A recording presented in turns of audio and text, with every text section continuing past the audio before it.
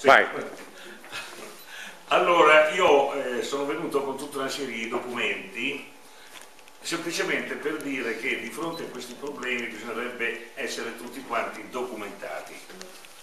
E devo dire francamente che qui abbiamo sentito molto sfoggio di opinionismo, ma di sostanza documentale ce n'è molto poca.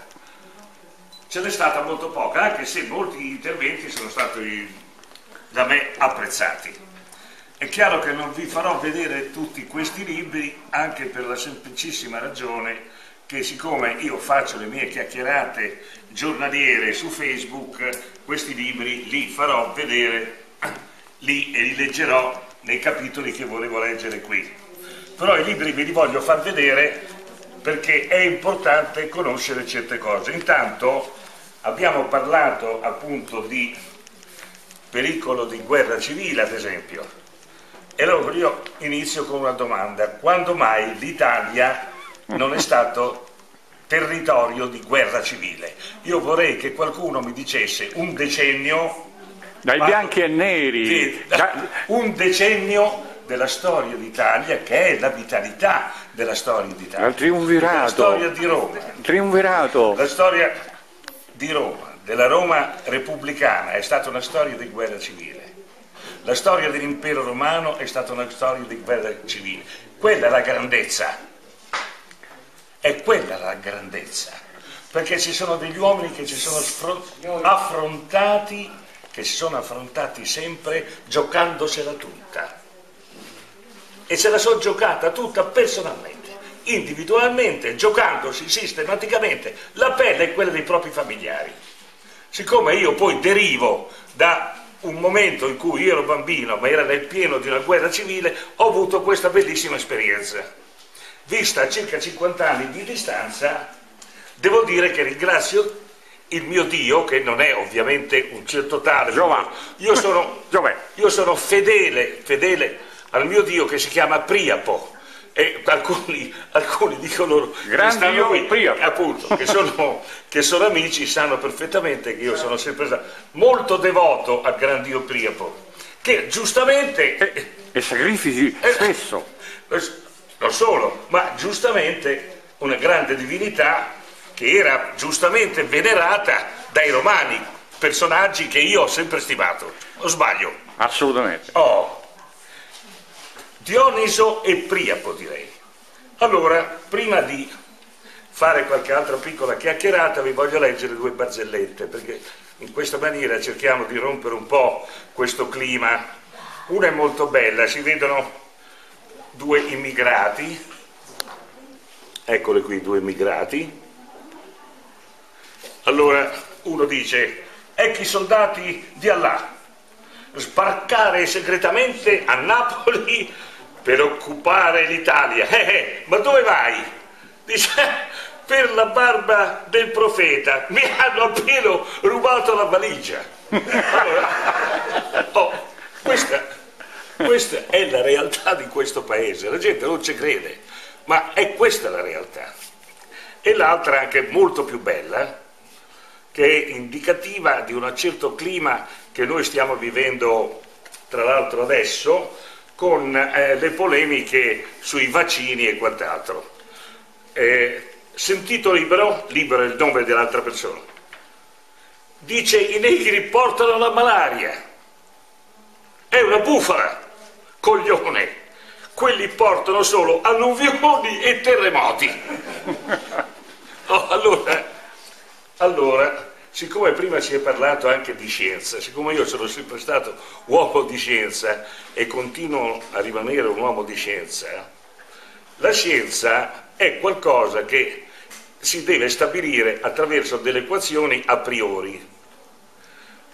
Per una, per una eh, qualsiasi ipotesi che tu devi fare di carattere scientifico valgono tutte le equivalenze possibili e immaginabili.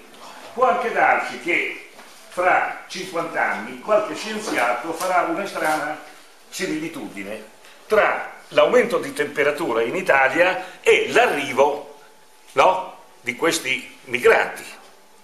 Perché non saprai mai Cioè le grandi scoperte, soprattutto quelle più recenti, della fisica post-quantistica sono di questo tipo.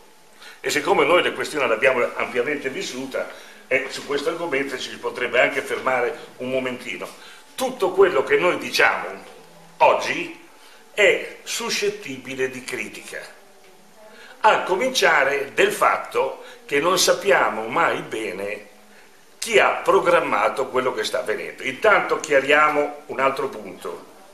Dal punto di vista di un'analisi di carattere scientifico devi stabilire esattamente quali sono i parametri di riferimento, perché quando noi parliamo di immigrazione non intendiamo quelli dell'est europeo che sono venuti in Italia a frotte Oltre e che milione. obiettivamente sono molto ben integrati e fanno dei lavori importantissimi. Ad esempio, L'edilizia è in mano rumena. esatto, e c'è eh, moltissime donne dell'est che fanno le badanti, poi fanno le cameriere, fanno tutto Un po' le prostitute Si sposano, fanno le prostitute e fanno anche figli, viva Dio. Allora, com'è che noi di questo, qui, di questo fenomeno qui non ne vogliamo parlare? Ma è un fenomeno di immigrazione come gli altri. Allora, evidentemente, è una questione di immagine. Come ha detto uno dei relatori qui, è una questione di impressione. Da che cosa siamo stati noi impressionati? Da una specie di invasione che è vissuta come invasione e che è quella che ci fanno vedere alla televisione. Arrivano dei gommoni, o diciamocelo bene, arrivano dei gommoni no? pieni di facce scure.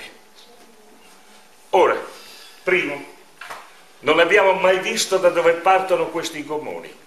No, sappiamo che esiste una realtà esistenziale che è tragica. Ho letto delle storie di ragazzi eh, negri africani che ne hanno passate di tutti i colori per arrivare in Libia. Però dopo quello noi non abbiamo visto più niente. Noi abbiamo visto, se no, qualche fotografia dove ci c'erano queste persone che gremivano un gommone col quale è molto si riesce a fare 100 metri. Oh, queste cose le dobbiamo dire. Fatti Noi in sappiamo- Cina, Eh no. oltretutto. Sì, oltretutto. Infatti un, un- un- un ammiraglio disse se noi vogliamo non far venire queste persone, so io come si fa, affondiamo o attacchiamo Vicino la alla nave- riva. la nave che porta questi gommoni, che sono fatti apposta perché dopo il primo viaggio si rompono e sono cinesi, dopodiché distruggiamo e non c'è più l'invasione. Perché? Perché noi abbiamo gli occhi per vedere e sappiamo perfettamente qual è la manipolazione che c'è dietro a queste operazioni, solo che non riusciamo a capire bene, oh, io ci sto attento, chi mi conosce sa che su queste cose ci sono molto attento, non sono ancora riuscito a capire bene qual è la vera manovra manipolativa, però siccome io ho portato dei documenti, siccome io sono molto documentato, questo è un libro, vi dico anche delle pagine, circa 500 pagine, che è stato stampato, questo è il sesto rapporto del 2010. Eh? Leggi il titolo. Non ho capito. Leggi il titolo. Certamente. Caritas di Roma,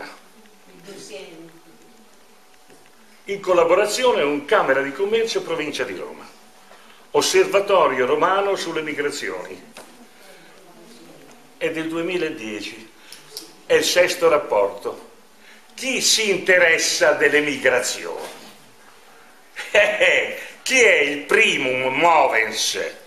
Eh? Indovina un po'? Quello Eh. che muove le finanze internazionali. Oh, allora Da cominciamo a chiarire le cose Il perché qui, sempiterno. in, questi due convegni, in queste due giornate dei convegni non è mai emersa questa strana figura dalle mani adunche, che non sono quelle persone che noi sempre accusiamo, no? Con sede a, a- a- a Wall Street O alla City. o alla City, ma sono altre persone Molto che più vicini. sono, sì, sono molto più vicini e sono molto più interessati dal punto di vista economico-finanziario e questo è un elemento Non che solo, direi ma anche significativo. etnico. Si stanno procacciando dei nuovi clienti. Oh, e allora, tanto questo è il primo aspetto, anche perché noi sappiamo molto bene che le conversioni, soprattutto convertire qualche islamico al cattolicesimo, rende molto.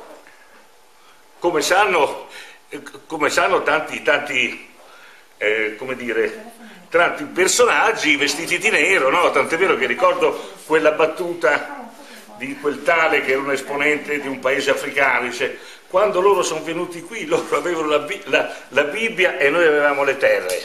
Adesso noi abbiamo le terre. Noi abbiamo la Bibbia e loro hanno le terre. Ora, queste sono cose che dobbiamo sottolineare. La prima cosa, Eh, se no non vieni. Dimmi. Guarda, devi stare qua. sì, Se no, no, lasci- no, sì, no, no, Giorgio, se no non vieni nel video mio, devi metterti qua dietro a questo video. sì. Se no non vieni ripreso. Perfetto.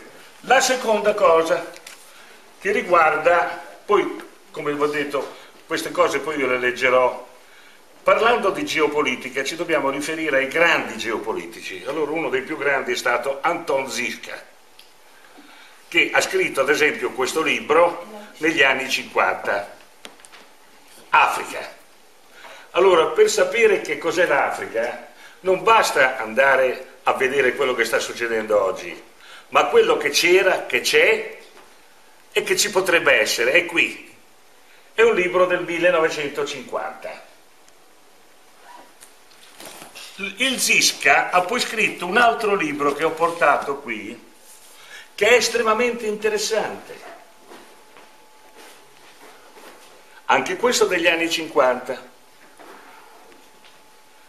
Negli anni 50 Zisca ha scritto questo libro, Pane per due miliardi di uomini, in un momento in cui erano tutti terrorizzati sull'aumento della popolazione. E lui ha scritto una cosa da grande competente, da grande competente, metti, da grande competenza. Guardate che c'è spazio alimentare per una marea di persone. Aveva ragione. C'è la verifica storica. Siamo 7 miliardi. E se è stato possibile passare da 2 miliardi a 7 miliardi, mezzo. è possibile mezzo. arrivare da 7 miliardi a 10 miliardi e ci arriveremo. Dico queste cose, dico- Non è che siamo in tanti, no? Non scoppia la terra, ci No, non scoppia evidentemente, ci sono delle leggi di natura che c'è della gente che non vuole che noi eh, comprendiamo perfettamente quali siano queste leggi, perché se no 2 miliardi sembrava che avevamo riempito tutto, non abbiamo riempito assolutamente nulla. A tutt'oggi noi possiamo tranquillamente aumentare. Allora tutto il mito della scarsità, tutti il Indotto, mito del- indotto. Esattamente, sono, eh, sono miti falsi, dietro ai quali c'è sempre e La soltanto speculazione. esattamente le stesse persone. Sono loro che immettono nella società, attraverso, l'hanno detto tanti anche prima di me, questi miti. E allora qual è la soluzione? La soluzione è semplicemente individuare queste persone e senza farci fuorviare dall'arrivo di 100, 1000, 10.000 di queste persone qui, colpire queste persone, perché sono le uniche persone che noi possiamo colpire, questa è la differenza, e che fino ad oggi hanno operato sotto falsa- falso nome. L'ultima cosa che mi interessa far vedere, qui c'è un, un numero di geopolitica, questa rivista qui è eccezionale, è un numero di geopolitica degli anni 40, del, 30, del 39, qui ci sono delle informazioni importantissime a dimostrare che nel 1939 in Italia si studiava e si sapevano esattamente le cose. L'ultima cosa che vi voglio far vedere, non la leggerò adesso, c'è un bellissimo articolo di Lessona in questa rivista, Eh? Lessona è stato ministro delle colonie italiane. Lessona ha scritto qui in questa rivista, che è il numero 37 del 1979, quello che era stato fatto, quello che era stato programmato per l'Africa orientale. che nessun altro ha mai fatto, che noi abbiamo fatto nel giro di tre anni, poi ce l'hanno portata via. Perché davamo fastidio per questa ragione qui. Semplicemente perché mentre gli altri hanno continuato a rapinare, perché hanno sempre rapinato, noi eravamo gli unici che costruivamo lì. E se avesse avuto la possibilità l'Italia di agire in Africa, ora noi oggi non avremmo nessuna invasione. Basta leggere l'articolo di Ressona che c'è scritto in questa rivista. Basta Grazie. ricordare il cinema eh, in, uh, ad Addis Abeba che è, stato, che è stato nominato bene culturale mondiale. Esattamente. Tanto per dirne Ma i una. progetti, quello che c'era e quello che è stato realizzato, non ci hanno permesso di farlo. Ma ancora il cinema ci andavano solo italiani, non li facevano italiani. No, Eh, eh, sì. no, la cosa è molto più Eh, complicata. sì. Se c'è una- se c'è un paese No, fa- adesso lo di cui lei è espressione, dove eh, gli italiani tutto erano forché razzisti, è stato proprio l'Eritrea. Perché ho conosciuto moltissimi eritrei, che erano, eritrei, italo-eritrei, che erano figli di italiani. Ecco, sei stato l'unico paese al mondo dove gli italiani hanno dimostrato che non erano razzisti. Sono questi, sono questi che vogliono il razzismo, sono i soliti, sono quelli di Wall Street, sono sempre loro, sono sempre e soltanto loro. Noi la soluzione ce l'avevamo, l'abbiamo proposta, non ci hanno permesso di portarla a termine. The last but not the least, come al solito. Eh, Giorgio, dichiara, fai la dichiarazione. eh, Fai una dichiarazione. no, nessuno, arrivederci. Sempre a lode a Lode a Prieto. Laudetur Fri-